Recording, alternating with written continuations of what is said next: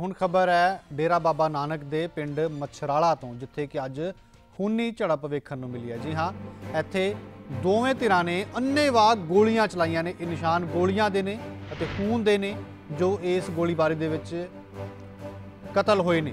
ਪਿੰਡ ਦੇ ਮੌਜੂਦਾ ਅਤੇ ਸਾਬਕਾ ਦੋਵੇਂ ਸਰਪੰਚਾਂ ਦੀ ਗੋਲੀਆਂ ਵੱਜਣ ਨਾਲ ਮੌਤ ਹੋ ਗਈ ਹੈ। ਦੋਵੇਂ ਹੀ ਕਾਂਗਰਸ ਨਾਲ ਸੰਬੰਧਿਤ ਸਨ। ਜੀ ਹਾਂ, ਕਾਂਗਰਸ ਨਾਲ ਸੰਬੰਧਿਤ ਦੋਵੇਂ ਮ੍ਰਿਤਕ ਰਿਸ਼ਤੇ ਦੇ ਵਿੱਚ ਸਗੇ ਚਾਚਾ ਭਤੀਜਾ ਲੱਗਦੇ ਸਨ। ਦੋਵੇਂ ਪਾਸੋਂ ਗੋਲੀਆਂ ਚਲਾਈਆਂ ਗਈਆਂ। ਦੋ ਲੋਕਾਂ ਦੀ ਮੌਤ ਹੁੰਦੀ ਹੈ।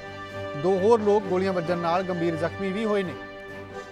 ਤੇ ਮੁੱਦਾ ਜੋ ਦੱਸਿਆ ਜਾ ਰਿਹਾ ਹੈ, ਉਹ ਸੀ ਪਿੰਡ ਦੇ ਸ਼ਮਸ਼ਾਨ ਘਾਟ 'ਚ ਇੱਟਾਂ ਲਾਉਣ ਤੋਂ ਪਖੇ ਵਿਵਾਦ ਦਾ।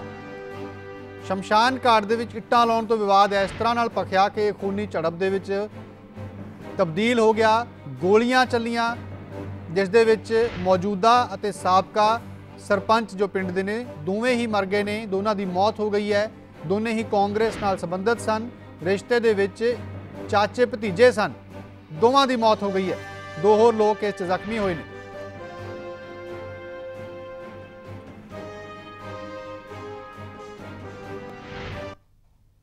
ਤਾਂ ਇਹ ਤਸਵੀਰਾਂ ਨੇ ਪਿੰਡ ਮਛਰਾਲਾ ਦੇ ਦੋ ਉਹ ਲੋਕਾਂ ਦੀਆਂ, ਜਿਨ੍ਹਾਂ ਦੀ ਮੌਤ ਹੋ ਚੁੱਕੀ ਹੈ ਅਤੇ ਉਹ ਜਗ੍ਹਾ ਜਿੱਥੇ ਕਿ ਗੋਲੀਆਂ ਚੱਲੀਆਂ ਇਹ ਖੂਨ ਦੇ ਨਿਸ਼ਾਨ ਨੇ, ਗੋਲੀਆਂ ਦੇ ਨਿਸ਼ਾਨ ਨੇ। ਦੋ ਲੋਕਾਂ ਦੀ ਮੌਤ ਹੋਈ ਹੈ ਇਸ ਦੇ ਵਿੱਚ। ਕਾਂਗਰਸ ਨਾਲ ਸੰਬੰਧਿਤ ਮੌਜੂਦਾ ਸਰਪੰਚ ਅਤੇ ਸਾਬਕਾ ਸਰਪੰਚ ਦੋਵਾਂ ਦੀ ਹੀ ਇਸ 'ਚ ਮੌਤ ਹੋ ਗਈ ਹੈ।